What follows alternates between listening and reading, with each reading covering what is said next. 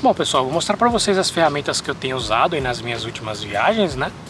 É, não é um kit de volta ao mundo, que você tem peças reserva, né? eventualmente um, um pneu reserva, por exemplo.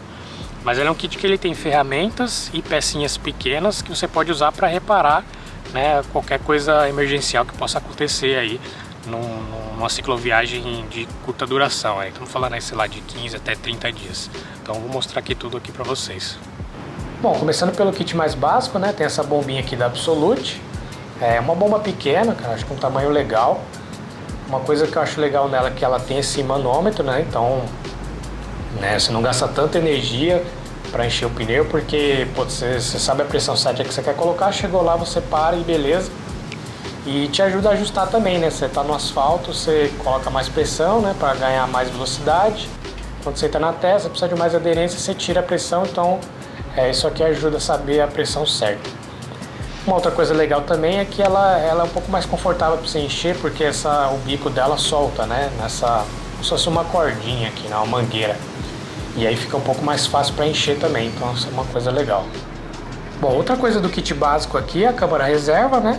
É, eu optei por não utilizar tubeless, porque é uma coisa que também gera certa manutenção, né? Então você tem o fluido tal, então tem, tem coisa também que você teria que carregar, né? Se você usa tubeless.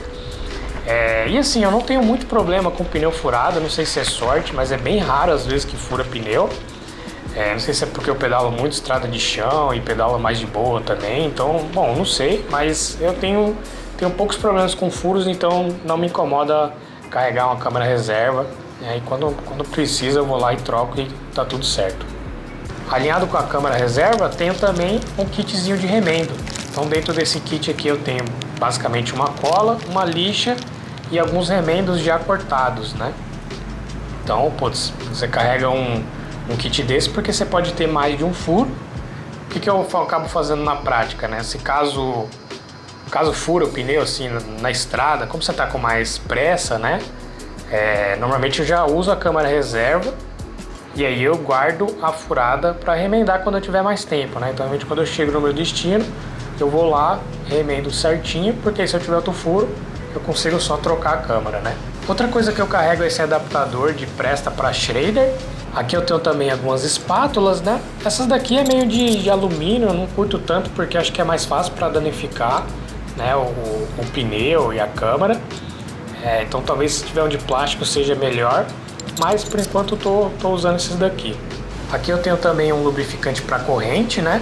Esse aqui é um lubrificante úmido, então aqui é basicamente para você preservar mais o, o, né, o desgaste da corrente. E acho que assim, né, para como eu pego muito estrada de chão, é, é, importante que seja úmido, né, porque ele aguenta um pouco mais condição extrema, né, de lama, chuva, então ele segura um pouco mais do que o seco. Então por isso que eu tenho usado esse úmido. Para todas as ferramentas, né, e pecinhas eu deixo dentro dessa bolsa. É mais para manter organizado, né? Tem um zíper para não, não perder nada. Então a maioria das coisas menores ficam aqui dentro dessa bolsinha.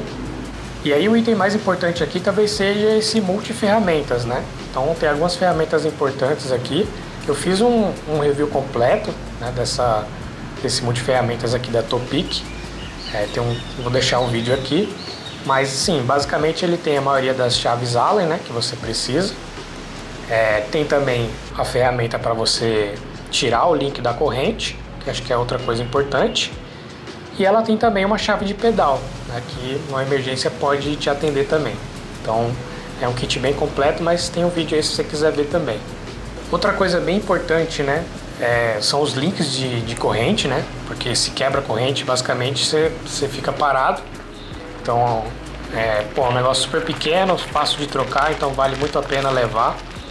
Eu acabo levando vários, tem dois tamanhos de corrente aqui, então tem para mim, mas eu posso ajudar uma outra pessoa também se acontecer alguma coisa.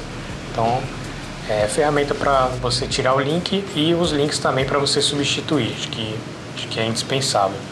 Uma outra coisa muito pequena que eu acho que vale a pena levar é uma gancheira, né? Então a gancheira é basicamente é um componente que foi feito para quebrar, vamos dizer assim, né? Então ele é, o, ele é a peça que junta o câmbio traseiro do quadro. Né? Então, no caso de uma queda, essa peça ela quebra justamente para proteger o quadro, né, dele não entortar. E o câmbio também, para ele não, não quebrar, não entortar. Aqui dentro dessa caixinha eu levo alguns parafusos, né, sobressalentes e também parafusos das coisas que, que eu levo para trocar. Outra coisa que eu levo aqui são pastilhas de freio, né? É, em condição de chuva você pode ter um desgaste meio repentino, né, de surpresa. Então você ter ali para trocar, né, como é uma troca simples de fazer, eu acho que vale a pena também. Outra ferramenta que tem me ajudado aqui é esse alicate, né? Porque ele fechadinho, quase não ocupa espaço, ele é bem levinho. Ele tem também algumas, algumas ferramentas aqui dentro dele, mas acho que o mais útil mesmo é o próprio alicate. Ali quando você precisa remover alguma coisa na câmara, é, ou você precisa puxar algum cabo. Então sempre que está difícil ali colocar a mão para puxar alguma coisa, o alicate ajuda bastante. Negócio baratinho também, levinho, então super vale a pena ir pôr no kit. Quando eu tô com sapatilha, costumo levar também taco reserva, né? O taquinho lá da, da sapatilha porque como é um negócio que você está sempre pisando ali, é, também te pisando uma pedra, é um negócio que corre o risco de quebrar, né? Então é um negócio que eu costumo levar também. Se precisar se quebrar, precisar fazer uma troca, eu tenho lá. Pensando numa cicloviagem um pouco maior, acho que a gente poderia colocar também cabos, né? É, sobressalentes, né? tanto para o câmbio quanto para o freio, né? Se for um freio mecânico. Acho que seria legal levar também raios, né? Reserva, que você pode levar até dentro do canote. É, e você precisaria de uma ferramenta para tirar o cassete, né? Porque se você precisar trocar o, os raios na parte de trás, aí você tem que, você tem que ter a ferramenta para remover o cassete, né? E ela é uma ferramenta meio grande, então talvez aí só para viagem um pouco mais longa que compensa levar.